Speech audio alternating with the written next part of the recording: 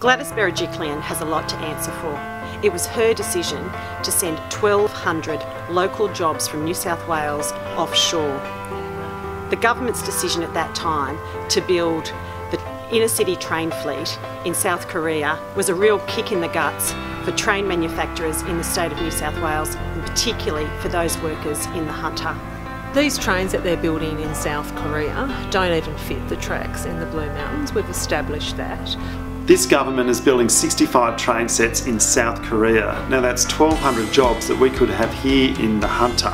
We've got two great train manufacturers, we've got very high youth unemployment, high unemployment, and South Korea is going to benefit from all those jobs. With unemployment rates in Lake Macquarie and Newcastle at 5.7% now and youth unemployment rates at 12.1%, it's essential that what we do is we build trains here in New South Wales and not offshore them. The former Newman Liberal National Government offshored Queensland's train bill to India in 2015 at a cost of $4.4 billion to the taxpayers and creating no local train manufacturing jobs in Queensland. Two, notes that these trains have been an absolute disaster with serious design issues which have led to the current Queensland Labor government suspending their delivery entirely.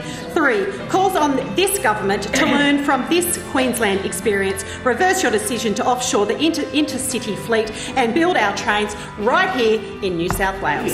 Last year, the New South Wales Liberal government sent $6 billion worth of train contracts offshore.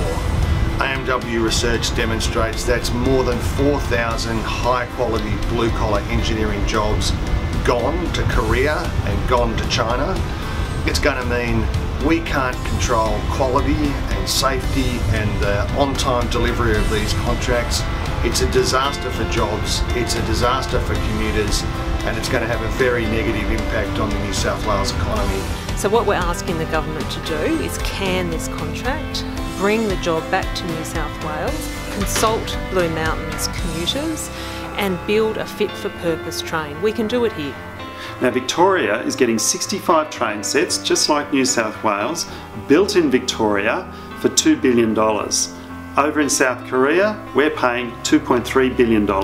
So when this government says it's cheaper to build them in South Korea, that is wrong because it's going to cost $300 million more to build them in South Korea than can be built here uh, in Australia.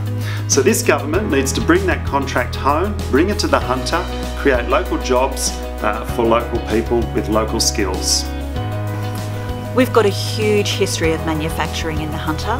We can build good quality, we can build good design, and that's why it's important the trains are built in the Hunter.